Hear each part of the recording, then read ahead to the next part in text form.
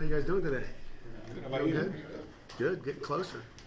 Almost to game day, so um, I've had a good week. You know, kids really came locked in on Tuesday, and you know, I thought you know Sunday was kind of, uh, you know, I don't know if they felt it, but um, our, our scout team did an outstanding job getting our guys prepared. Um, we're obviously deeper in, in our scout field. Uh, so I think we're rolling two defenses out there for our offense, and same thing on the offensive scout team. So they did a great job preparing us this week, and um, you know, we'll find out what we got uh, Saturday, you know, four o'clock uh, with the University of Massachusetts. Uh, expect a good football team to come in here.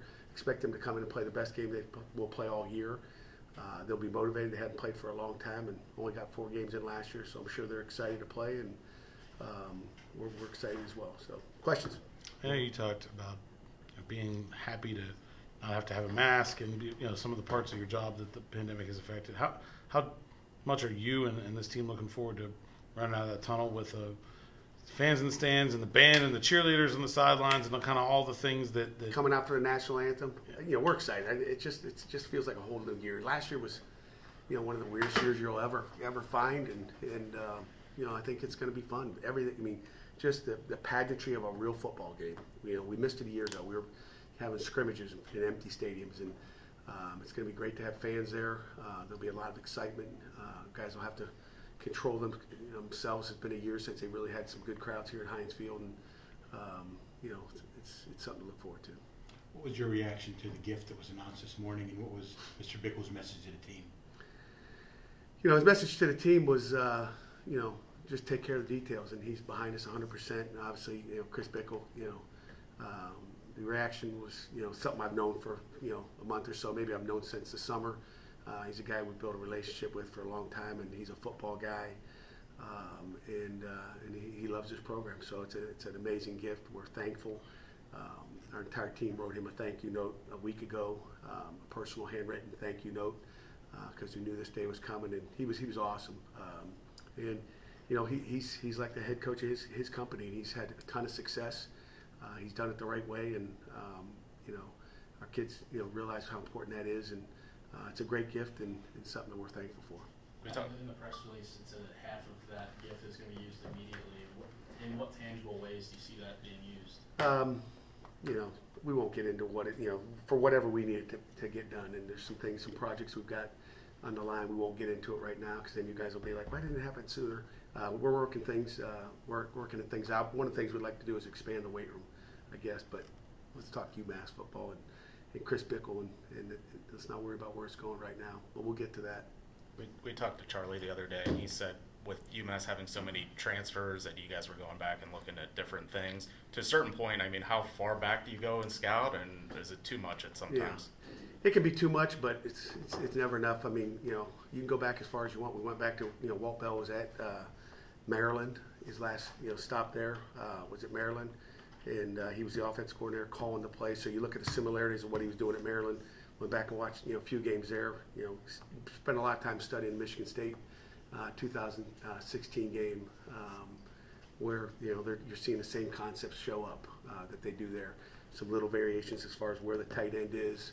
Um, so we've gone back, you know, pretty deep and looking at what kind of, you know, four games last year they didn't have a, you know, even till you know desperation play at the end of the game. What are they going to do? Are they going to be in a three by one set? They're going to be two by two. What's their go-to when they need a big play? Um, you know, we know we're going to see a bunch of, you know, uh, tight end, you know, shoots, kind of like Miami did to us. Uh, we know we'll see some of those, so we've got to cover those tomorrow. And um, they'll, they'll, they'll do a bunch of different stuff. They came out with a muddle huddle against Michigan State, so they will throw everything at us that they can, you know, hoping for a big play. The, Uh, they, they struggled last year. How do you make sure you get your guys' attention that they're focused on you know, what they need to? Well, I think you, you, you know, I think they're focused. I think you know, you, have to, you find that out during the week. You know, where are they serious? Um, is that Bickle calling you? Um, but um, yeah, I, I- I think you know. Obviously, you find out on game day. We'll know after the game. You know, at the presser afterwards how locked in they were. But I see a locked-in team like they were last year at Austin Peay. Uh, our guys were focused, and um, I, I sense the same maturity right now out of our guys. You know, they'll be ready to go, and, and so will UMass. So, um, you know, not knowing what you're getting, I think that's that's a good thing for our team. Not knowing, um, it's going to be adjustments. You know, from the first snap to the last snap of what they're doing, how they're doing it, who's their personnel, who's that guy, who's in the slot receiver spot. Um, you know, who's, who's, you know, at tailback, you know, who's kick returns, you know, what's their Mike linebacker look like? I mean, all those things. I think, uh, you know, it'll be, you know, a great game and we'll have to be, be locked in. What have you seen from some of the guys who didn't play a lot last year because of injuries, like uh, you know, like Hava, Lucas, uh, Wendell? Like, how have you seen them kind of getting ramped up to say, okay, this, like, I'm, I'm ready to go again this year? You know, we've seen it since the beginning of August. I mean, Lucas has had a very, very solid camp, and we're looking forward to seeing what he does on game day. You know, Hava played quite a bit last year before he banged up his hip a little bit, and uh, Hava's had a great camp. I mean, he's, he's a guy that uh, we expect to see a bunch of. Damari Mathis, another guy that, uh, you know, uh, hasn't played for a year, um, but has gotten better almost every practice, if you can imagine that. I mean, he was a little rusty, I thought, in the spring, uh, but there was no rust when fall camp started, and he's been, he's been good. When I you remember put a, I remember you said, uh, I think it was early spring when you guys got back. Demar was like tackling people when you guys were in shorts. Yeah. So he kind of like settled back in. He's definitely settled down. You know, we only had nine days in, in tackling drills, so he was he was good. And I, I think this football team, you know, has done a, as good a job as anybody, or as any team we've had here since I've been here, as far as just staying up and keeping guys healthy. We're we're healthy going into this opener. when you put an or on a depth chart on a Monday, how does it affect uh, a player's practice throughout the week with- with two guys maybe fighting for that same spot on Saturday? You know, um, I hope it affects them. I hope you know they're looking at it going, you know, am I going to be the guy getting the, the reps or not? And and uh, you know, and one thing we just say is, hey, you're going to have opportunities when you get out there. You know, you earn your opportunities on game day. Um, you get 10 reps, you get 20 reps, you get 30 reps. Show us what you have on game day, and that's where the competition begins and ends. Did you see that in practice this week with some of those guys? No doubt about it. I mean, um, you're always going to, we see it every day. I mean, you know, you guys see the one depth chart, we see a depth chart every day. We go through a depth chart every day of where they are. You know, first day in pads, usually at that first scrimmage, there's a lot of movement as far as, you know, just moving guys in front of people. And uh, our coaches will go back and watch today and still go, you know, this guy had a really good Thursday, this guy didn't, you know, and we'll base things off of that. The UMass um, left tackle, I think, has been to four schools. Do you go back and look at all three of those? Which depth chart are you looking at, Jared? Uh, You're right. You're right. Yeah. But the latest depth chart was, you know, chaos. I thought.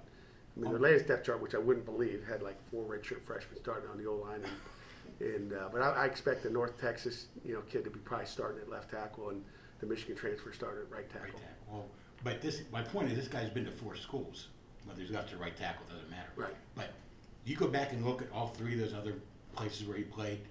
Not all three. You look at the latest one. I mean, and try to talk to whoever you can just about you know what is what is what's his mental makeup. That's the nice thing about transfers is, is you can go you know you can backtrack not only watch tape but go back and talk to people that you know at those different institutions and say hey how was he there what what did he do. Uh, we know enough people that to just get an idea. But you know whatever they said in the past doesn't matter. These kids, you know, they move on through the portal. They get new opportunities. They get new coaches. They get a fresh start and and uh, you know they're they're obviously, you know, Power Five guys, whether it's you know corner from North Carolina or uh, tailback from Rutgers, they all have another opportunity to come, you know, make plays, and and they all want to play in the NFL. I don't care if you're at UMass, Pitt, or Alabama. They all have, you know, uh, aspirations of playing in the league, and and uh, they want to come show what they have in Heinz Field Saturday. All those transfers must add extra time to, to your preparation. How much time do you guys put in your Monday, Tuesday, Sunday, Wednesday night? Well, I mean, a, a lot. I mean, you're you know you're trying to do as much homework as you can, uh, whether it's fielding phone calls from somebody that you know or uh, or you know watching tape. But we got people's jobs that are to hey, get us a tape on these guys. I don't need to see hundred plays. I need to see the fifty plays he's in. And some guys there's more tape than others. So, What kind of camp did AJ Davis have? Because you know, a lot of talk about Izzy and Vince and even Rodney. Uh, throughout Right. camp. Right. Um, you know, he had a great camp. I mean, I think he got better every day. He really did. I mean, um, you know, he's mature. With you know, you're not knowing if you're going to get a three down front or four down front. He's a guy that you feel comfortable going in there, regardless of what he sees of, of in the run game. You know, reading the right guy based on the front. Uh, if it's a, if, if you're throwing the ball protection wise, I mean, he's just the, he's the most mature guy in that room, and I think he's gotten better. You know, I, I've been very very proud of how he's handled himself through camp. Is that an area you mentioned for protection? Is that an area that Izzy and but you know more so Izzy because he's younger? Uh, that an area he still needs to grow? Yeah, but he's like uh, you know hundred times better than he was you know last year um, uh, as far as protection goes. So you know we feel comfortable. But you know? It's, it's nice when you can see 2020. Like next week we'll have tape and go okay here's who they are. You know these are the looks you got, and I'm sure we'll see new looks. But um, with not knowing if they're going to be three down or four down, um, and we've practiced both. Um, but you know you split your time on what you're doing. Uh, front wise and, and protection wise. So we're ready for it all. How much will you watch the Tennessee game tonight? Well, we have a bonfire. Anybody going to the bonfire tonight? So I'm gonna miss, you know, but we'll have a DVR. My kids got a DVR already. I don't know. I couldn't DVR myself, but they'll have a DVR, so I'll be watching it. Yeah, Um, be watching it. have you named uh, starters yet at middle linebacker, free safety, and kicker? We have in this room. You find out on game day. We have though, Jerry. Yes. You have. Okay, Yeah. so you, I'll bet you knew about at least two or three of those positions before Monday. My own opinion, you think probably. You just wanted, didn't want Jerry, to you tell. got your own opinion. You didn't want to tell Eric us. Hallett, Erick Hallett's going to start the free safety position. I'll give you that one. But Rashad's going to come right in. We feel great with both of them. Um, so I don't know. You mentioned the kicker. I'll let you hang on that one. Middle linebacker. And middle linebacker, we got two good ones there. We'll, we'll see. You I don't want mentioned, UMass to know. I wouldn't mind if you knew, but I mean, they gave us this bogus depth chart. This college football. you mentioned at the start of camp about only having the nine padded practices. Uh, Of the things that you're uh, anxious to see, is that one of the physicality in a game setting, is that? one I of the- mean, it's making those plays on a game day at Heinz Field, yes, but I really feel good with the way our kids have tackled, as good as we've tackled. Um, you know, I think the thud periods were good for us because you got to keep your feet moving, you got to you know stay up off the ground and still, you know, make a tackle. So um, I, I'm not worried about us having. Uh, I'm not worried about us tackling. If I was, we'd had you know we'd have had more tackling practices. I want to make sure you know there's a fine line. Get those nine practices and, and just beat the heck out of each other, and you know, and, and, and get your tackling, and all of a sudden you're going with half your guys. So um, I'm happy with where we are, and I'm not worried about the tackling. I'm worried about guys making plays, and um, but you know we'll be ready to tackle. We'll be physical. How much do you consider this, um, you know, start of a new season, especially you know, coming out of the pandemic year away, you know, to sort of build some enthusiasm with the program? You're talking about this big donation, um, you know, just does it feel like there's some- there's it's almost like a new start, even though this is your seventh year because last year was kind of such a wash from such an engagement standpoint. What's the question? Does, does it feel like there's some fresh, like it's like it's a bit of like a fresh new thing? Like you can re-engage with people that haven't been to a football game in two years now. Yeah, I don't. I don't know. I mean, I don't look at that. You know, it's you know we, we've been working.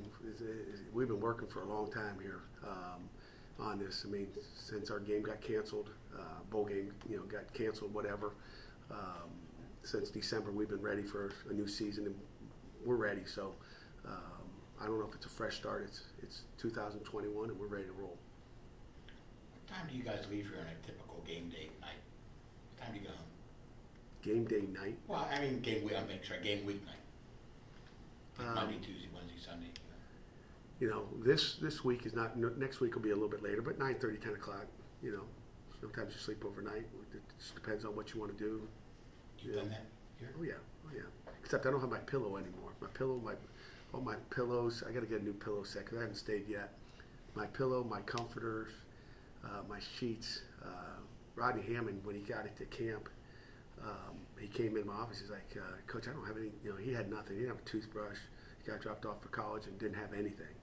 Uh, which is the first time I was like, "Shoot!" I went right in my my cupboard there uh, in my office and pulled out. my I said, "Here you go." I asked him the other day. I said, "Hey, you still got my pillow? You still using it?" "Oh yeah, coach. Oh yeah." it's like good. What are the emotions for you like on the first game of the season? Emotions. I mean, you, you know, it's like I told our kids. Uh, I don't know if it was yesterday or this, this morning. You know, there's there's stresses, there's pressures. You know, there's good pressure, bad pressure. Um, but you know, prepared teams. You know, you, you're going to have butterflies. I mean, you're, you know, I get butterflies. You know, I would I would imagine every player on our team and every staff member is going to be like, oh, let's go. I mean, you get you get nervous. I was actually more nervous on Monday than I am right now, just because you get a good week of practice in.